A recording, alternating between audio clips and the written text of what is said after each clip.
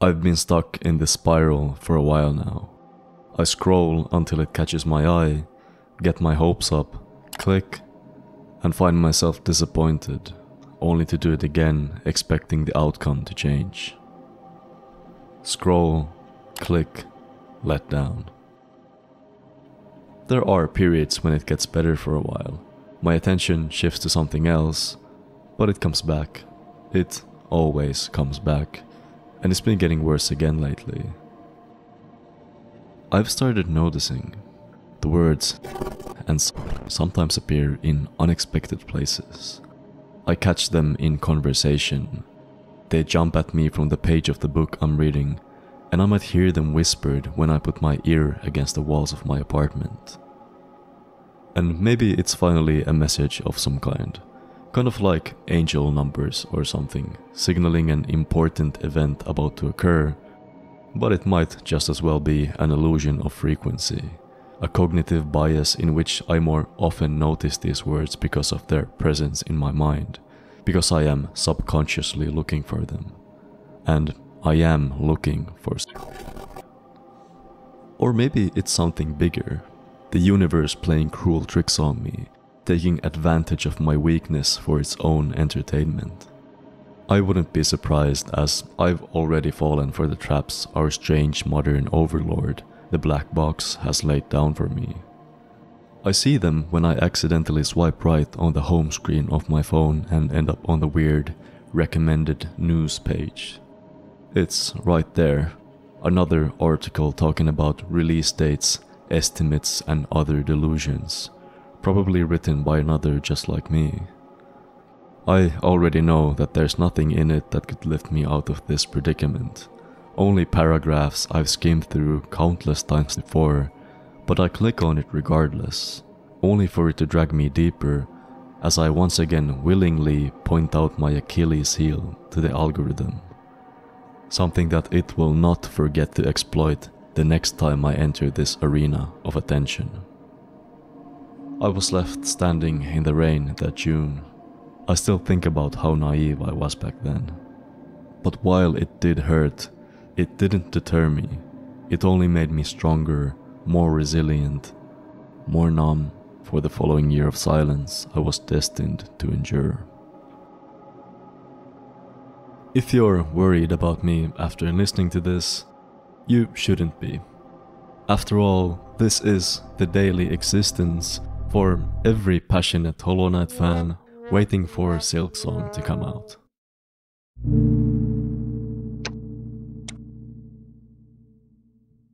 Okay, okay, bit over for a sec. Hollow Knight is one of those games that left a huge impression on me, and I've replayed it too much at this point. I mean, everything has been said about this game by now, but still, I cannot understate how thoroughly it clicked with me back when I played it for the first time. First, the game just looks incredible, partly because Team Cherry kind of went nutty mode with the parallax effects, and also because of its unique art style and setting. The aesthetics draw you in, and before you know it, you've already gone through so many branching pathways that there's no way you can find your way back. You keep pushing forwards until the game finally allows you to reorient yourself with a map, and then you get lost again all while following the trail of puzzle pieces of lore, characters, and background elements that help you connect together the story of this foggy, dying bug kingdom. And then to top it all off, the game gives you the most fluid combat and movement system I've ever experienced to play around with. The game is hard, but the level of control and difficulty intersect into the sweet spot where the game feels like what I imagine how Goku feels like when he goes Ultra Instinct. And you get it by now. I kind of like this game. And in the beginning of this chapter, I used the word impression, like a lasting mark impressed on the surface, to describe the effect it had on me. And I mean that in a very straightforward way, as this wasn't something that could easily be brushed off and forgotten afterwards. Hollow Knight changed me, and this channel probably wouldn't even exist hadn't I played it back then. But it's not just me that it left an impression on. Other people really love this game as well, And not only that, it's not just people it left an impression on, but the indie gaming scene as a whole. It set a new bar for how good independently produced games could be, sold a ridiculous amount of copies, and became the Metroidvania game outside of Metroid and Vania. So considering everything I've mentioned so far, you can imagine the excitement in the air when Team Cherry, all the way back in 2019, on Valentine's Day, made an announcement. Instead of just adding a new playable character, Hornet to Hollow Knight, like they originally had promised in their Kickstarter goals, an entirely new game, Silksong, a sequel centering around her own adventure, was in the works. And thus, a question was raised within the minds of Hollow Knight fans all around the world.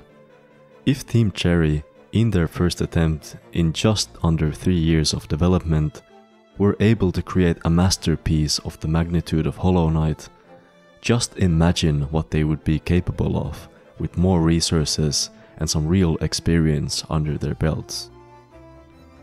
And a lot of people did imagine, and fueled by the images conjured in their minds, they built communities and set reminders for Nintendo Directs in their calendars, all in anticipation for this game that would totally be coming out sooner than later. And then people waited and waited some more.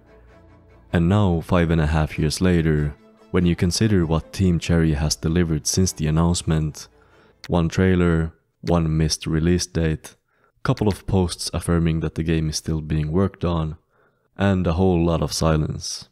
You may start to empathize, or at least understand the state of mind I portrayed in the intro. But do you really understand how deep this goes? As that's nothing compared to the sheer absurdity you find when you dig deep within the hopium fume field dumpster fires, which are the Hollow Knight related communities on the internet.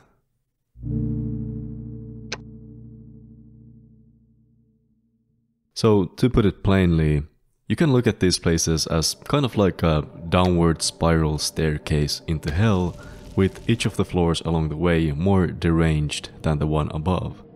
I've had my brain fried by heavy exposure to this stuff for the past two months, and now it's time for my therapy session. So, we're gonna go through all of this together. And just to make it fun, I'm going to explain everything along the way in Hollow Knight terms. So, let's start from the top. Even though Reddit is basically hell just by itself, the jump off point for this descent, r slash Hollow Knight, is not that bad to be honest. The infection, metaphor for the brain rot caused by this unrequited desire for Silksong, hasn't properly taken root here. So this place is not that different from Dirtmouth, the place where your descent starts in Hollow Knight as well. There used to be some silly daily Silksong waiting posts, but all of them have given up and disappeared at this point. Their reactions to announcements on news are grounded and carefully excited, but five and a half years is a long time, so of course there's some worry and frustration towards the lack of communication, and who could honestly fault them for that? The posts here are fine, but almost predictable to the point that they become boring.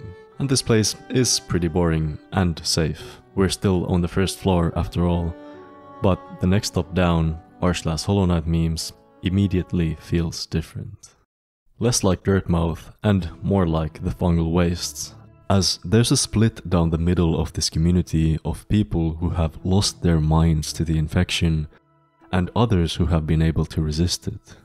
But at its surface, it's not too unhinged either.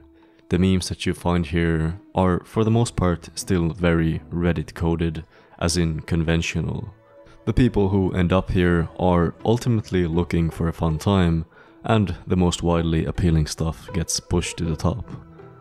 But if you stay here for an extended period of time, you might get lucky enough to witness a disintegration of this facade in real time. Two years ago, this meme was posted to the subreddit. The joke is that the reason Team Cherry hasn't released any new information is because the GOAT Hollow Knight lore YouTuber Mossbag is too good at deciphering this stuff, so they don't want to give him anything new to work with. It's a pretty normal meme for a place like this, a fun theory reaching for any reason for the silence, but when one desperate Silksong anticipator looked at it, they saw a solution.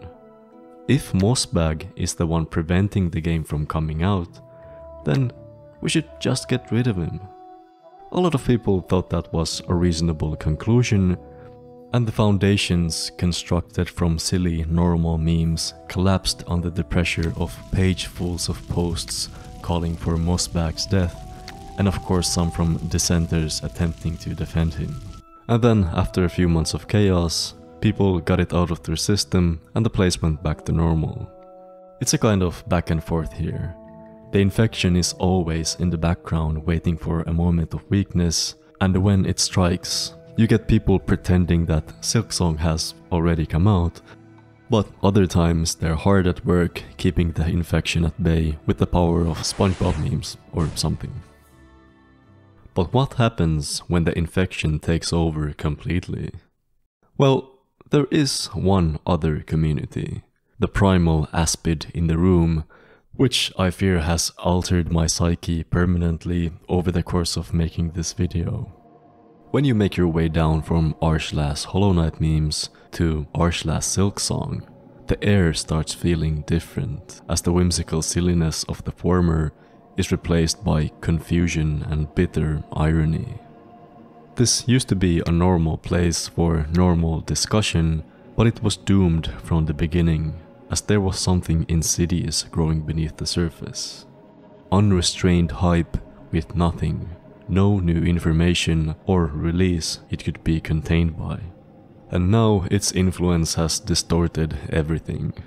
The posts you find here today are caked in layers of irony, sealed together with a mixture of anger, depression, and desire. They form a protective armor which is powerful and incomprehensible to anyone passing by, but it does have one devastating weakness. When anything resembling legitimate information pops up, it's stripped away to reveal a glimpse of what is at the core of this subreddit. A genuine excitement for a game that should have come out years ago already. But the information never amounts to anything, so expressing this emotion sincerely always ends in hurt and thus the protective layers are once more applied even thicker than before, more ironic, detached, and abstract. Before we take a step deeper, here's a quick question to check your level of brain rot. Which one of these choices is correct?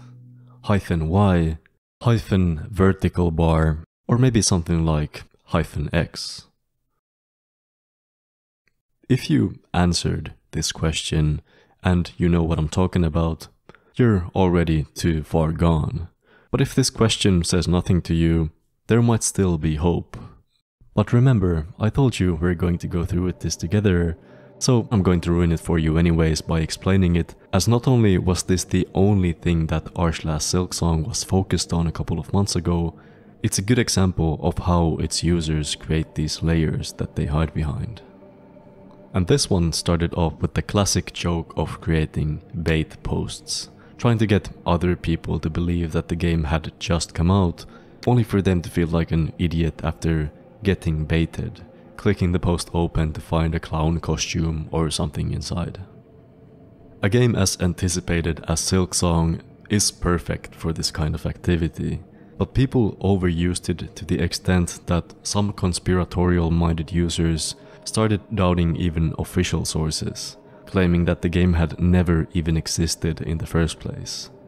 And then, in reaction to this skeptical culture that had grown on the subreddit as a result of this running joke, this image depicting the main character Hornet with a cigarette in hand was created. It's a variant of the slightly older bait used to be believable meme, which, thanks to the amount of baiting happening on here, understandably took over the subreddit.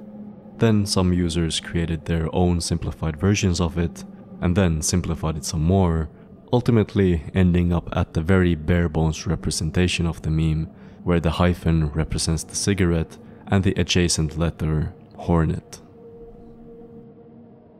This meme had everything the expectations, the malice, and the unhingedness of this place condensed into the tiniest possible signifier, and I think it's this potency which enabled it to keep evolving even past this point. You see, it didn't end there. The different letters gained their own followers, who created imaginary churches and cults, starting a conflict which spread across the community, pitting its members against one another in a holy war that could only have one victor. If you think that this is a crazy leap from bait posts to here, you underestimate the infection, as it didn't stop there either. These people wrote chapters and chapters of detailed background information, religious texts, and fucking poetry to create lore for these imaginary factions, which, just to remind you, were themselves inspired by a bare bones version of a simplified version of a simplified version of a variant of a meme, which was a reaction to a culture molded by a running joke taken too far which was a reaction to the relationship between the hype and the long development time for this game. And then the trend died down a bit, and now when you go to r slash Silksong, you'll find something else entirely. Shortly after the letter thing, there was another war between Skilk and Skong. Please don't ask me what that means. Then, when I started writing the script, the page was filled with these which fanbase has it worse posts, and now that I'm rewriting this, all you see on the front page are posts about eating the cherry of Team Cherry. And this is what I'd consider the more charming side of r slash Silksong. Hope and depression expressed through goofy irony gymnastics. But the emotion of genuine anger shows itself differently. When you sort by controversial, you'll find the users who've had enough. That genuine excitement they used to share has soured, and those protective layers have been discarded as they no longer serve a purpose. Team Cherry doesn't care about its community. TC fans are absolutely delusional if they think TC is still working on the game. I have lost the respect I had for Team Cherry. They don't deserve us. The juxtaposition of these two types of expression, ironic and hostile, are what I think give r slash Silksong its signature uncomfortable atmosphere. And if I had to compare it to a location in Hollow Knight, the infected crossroads would be the obvious pick here. A regular old place turned nightmarish by the infection. In the story of Hollow Knight, the Pale King wanted to defend all of these places by creating a vessel, a being that could contain the spreading infection within itself. And this aspect of the story opens up an interesting question considering this analogy for the brain rot that I've been using. Would it be possible for something like this to exist in real life? There is an answer that you might find if you venture even deeper. You would need someone with just the right set of skills, dedicated and desperate enough to take the risk and go through with it and create a real vessel that the hype could be channeled into. Their own Silksong. But come on now, there's no way anyone would actually. A little over a year ago, creator Watermelon started documenting his process of developing his own Silksong on YouTube, taking inspiration from the trailer and filling in the blanks it had left behind. He created a couple of different versions and then finally released his own watermelon themed Silksong fan game, Melon Melody, on itch.io. And it's unironically kind of good. The map is massive, way bigger than what you would expect from a fan game, it's balanced to an enjoyable level of difficulty, and most importantly, despite being an imitation of sorts, it has real personality, which gives it this aura of authenticity. Like, look at the shape of the map. The fake out final boss, and these goofy flying watermelon enemies who normally chase you, but if their helmet covers their eyes, they just zoom around crashing into the walls. I don't think you come up with stuff like this unless you put some genuine care into it, and at least to me, the end result does feel Silksong-ish. Why am I even surprised? It's the Hollow Knight fandom. These guys write lore for the fucking alphabet. Of course there would be one guy who would take it to this extent. But the funny thing is, there is more than one guy.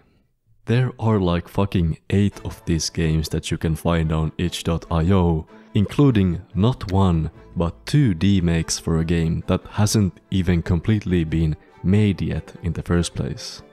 Of course these games are not all as faithful to the source material as Melon Melody, but the fact that they exist shows how far beyond ironic memes the community's obsession has gone at this point. But while it's fun to pretend for a video that a fan imitation could solve this problem of unrequited hype, in reality it's not even close. No matter how deep you go, no matter how ambitious, these projects barely get any attention in the places you would expect them to thrive in. And at the end, just like in Hallownest, there are only two real ways out of this conflict with the infection. Either its source is defeated, or you run away and leave it all behind. Either the real game comes out, or you stop caring about it.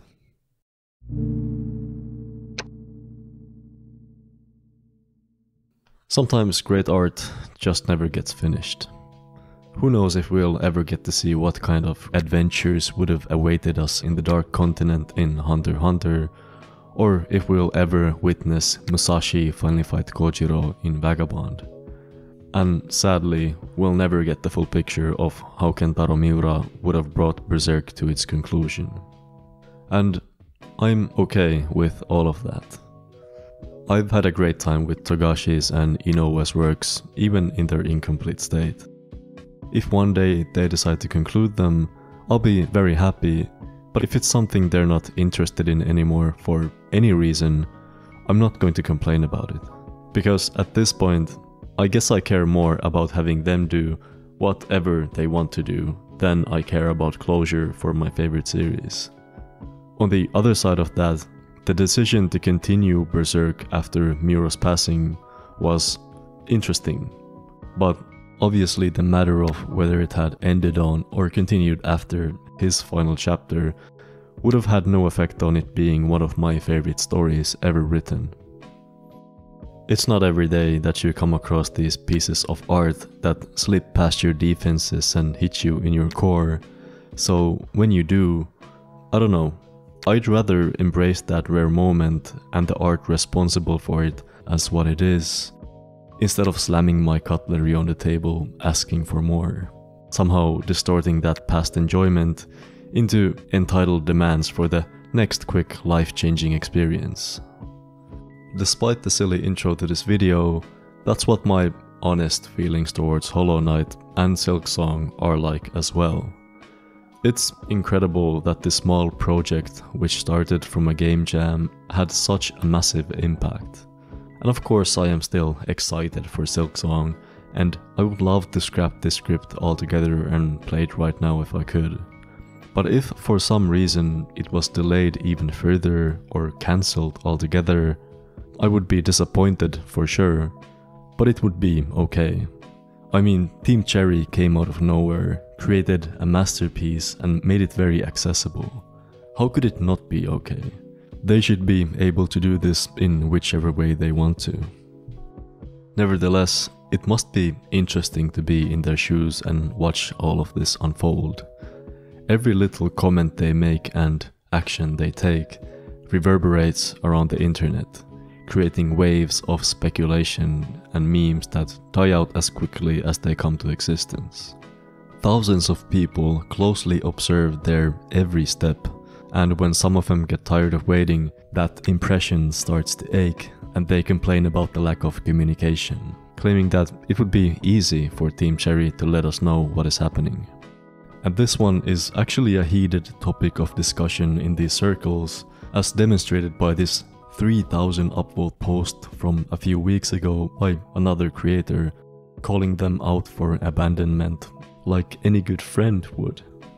Most of the commenters agree with this sentiment, and I'm not trying to call anyone out specifically, but I saw this one comment in there that I found pretty funny, which accuses Team Cherry apologists like myself for being socially inexperienced or antisocial, because expectation management is an important social skill in any relationship. And it might sound like valid criticism until you take one step back and remember that we're talking about the small indie developer who is 1. choosing to create a sequel to a game that you like, which is, by the way, something that they don't have to do if they don't want to, and 2. are not engaged in a friendship, romantic, familial, or a professional relationship with you. And since we're going down this path, I also have a few, I hope, ice cold takes on this topic. First, we don't know what is happening behind the scenes. We don't know their creative process, so we're not in a position to evaluate how easy posting updates would be. And second, the absence of the updates tells us something important. I think it's safe to assume that Team Cherry isn't just, whoops, repeatedly forgetting to post a newsletter or something every day. And if you agree with this assumption, you should see that their silence is a conscious choice. For whatever reason it may be, they don't want us to know the details behind the delay, at least for now. And I'm not saying this to appear morally superior or anything, but I think that decisions should be respected. There are some natural and very expected side effects to this though. The hype reaches past its terminal velocity and the game starts living its own life, brewing within the imagination of the people impatiently waiting for it. In my case, for example, I obviously don't know what the game's like outside of the trailers, but I sure as hell can imagine myself having a good time playing it, so it seems I have created at least some kind of idea of it and the kind of experience I expect it to give me. A construction extrapolated from Hollow Knight and the other information given, shaped by the culture of these communities and this infection. But I'd bet that my Silksong is not going to match up with what will eventually be released. And the same thing goes for everyone. The more obsessed you are about it, the more elaborate, and unless you're a time wizard, the more inaccurate your construction will be, and the more potential there is for disappointment when the expectations don't match up. But I wonder, even if the game was exactly how you wanted it to be, would you be satisfied? Like, I've been hyped for many games in the past, and even in the case of the good ones, that preceding excitement, years in the making, always fades away after I get past the opening screen. It's like the construction, this mysterious promise of a feeling that the game should grant me is swept away in an instant when the game becomes real and I get to actually experience it. Now, I don't think that this means that there is anything wrong with the game, but rather that the idea of it is a completely different entity than the real thing. What I actually wanted from it is something that the game could never give me. I know this since every time I step past that threshold and get what I want, the goalposts move farther away, the construction shatters, and something else, a new desire for another new shiny thing, quickly starts growing in its place. Everyone knows this cycle, but in cases like the release of Silksong, the repercussions of such a shattering are more devastating than usual. You see, in Hollow Knight, when the infection is finally defeated, the creatures animated by it cease to exist as we came to know them. And then, Hallownest falls silent. And I think the same fate awaits the communities fueled by these constructions. And this is not a hard prediction to make. Elden Ring used to have a community a lot like this one, with a lore wiki and everything, but no one talks about that anymore. If I imagine a scenario where a culture stops existing, it feels natural for me to assume that the cause would be some kind of catastrophe or a slow decline or some other negative event, but here it's the complete opposite. The ultimate desire of a community like this is the very thing that will cause it to collapse when fulfilled. It was never meant to last forever, and maybe that's a part of the reason these places turn so unhinged so quickly. It's not a culture being nurtured and built slowly over time, but rather one chaotically burning to the ground and something different emerging from its ashes. I know I made Arsh Silksong seem like hell on earth, but I still miss it when it's gone. The collective unrequited hype of all 50,000 people subscribed there, the groundwork that this weird place is built upon, will disappear in an instant. The people won't go anywhere, but there will be no reason to put on the clown costume anymore. What will the layers of irony protect you from? What is there to debate about after the game comes out? Maybe this is some kind of very convoluted, unconscious cope to make myself feel better about the game taking so long, or a side effect of spending way too much time in these spaces in the last two months. But I find this process genuinely kind of bittersweet. There's something charming about places like this, and the amount of high effort shit posts they pump out. How lively they seem, and in contrast, how fragile they actually are. If you're watching this and the game hasn't come out yet, you still have the opportunity to go look at this happen in real time and appreciate the sheer silliness of it. Now's the time cause It'll be gone before you know it. Thanks for watching.